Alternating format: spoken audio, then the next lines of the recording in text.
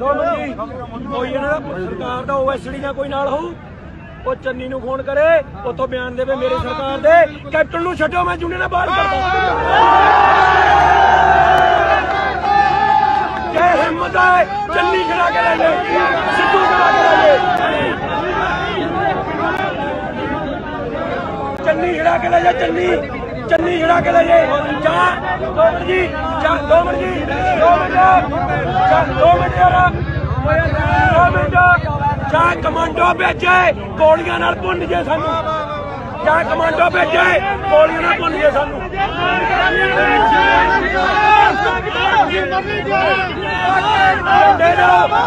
ਮਰ ਉਹ ਚਲੀ ਮੈਂ ਦੇ ਦੂੰਗਾ ਮੰਗੀ ਨਹੀਂ ਜਦੋਂ ਮੈਂ ਦੇ ਦੂੰਗਾ ਉਹ ਕਮਾ ਕੰਮ ਕਰਦਾ ਮੈਂ ਸਿੱਧੂ ਐ ਐ ਲਵਾਈ ਐ।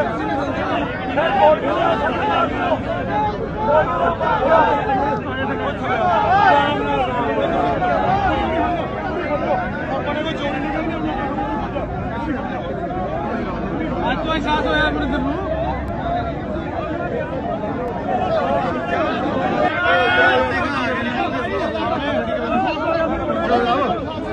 ਦੋ ਮਿੰਟ ਜੀ।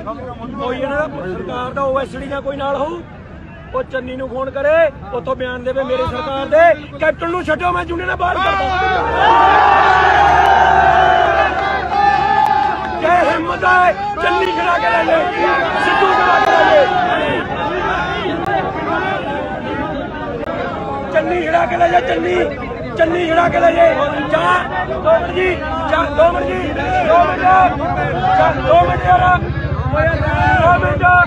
ਜਾ ਕਮਾਂਡੋ ਭੇਜੇ ਗੋਲੀਆਂ ਨਾਲ ਭੁੰਨ ਜੇ ਸਾਨੂੰ ਜਾ ਕਮਾਂਡੋ ਭੇਜੇ ਗੋਲੀਆਂ ਨਾਲ ਭੁੰਨ ਜੇ ਸਾਨੂੰ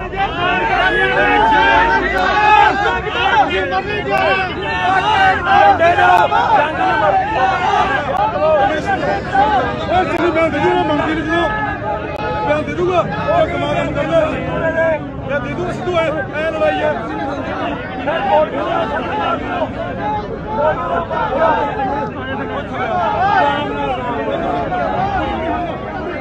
ਆਪਣੇ ਕੋ ਚੋਰੀ ਨਹੀਂ ਕਰਨੀ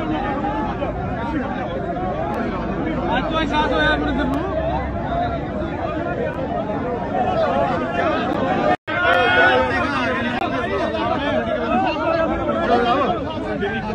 ਦੋ ਮਿੰਟ ਜੀ।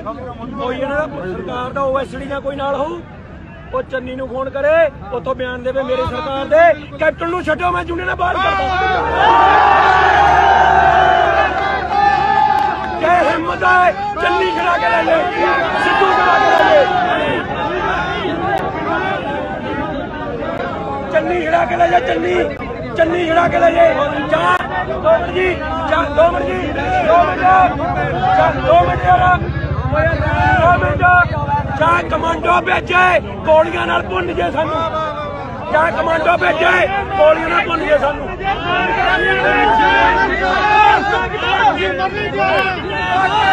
ਡੇਰਾ ਜੰਗ ਨਾ ਮਰ। ਉਹ ਚਲੀ, ਮੈਂ ਦੇ ਦੂੰਗਾ, ਮੰਗੀ ਨਹੀਂ ਜਦੋਂ ਮੈਂ ਉਹ ਕਮਾ ਕੰਮ ਕਰਦਾ ਮੈਂ ਸਿੱਧੂ ਐ ਐ ਲਵਾਈ ਐ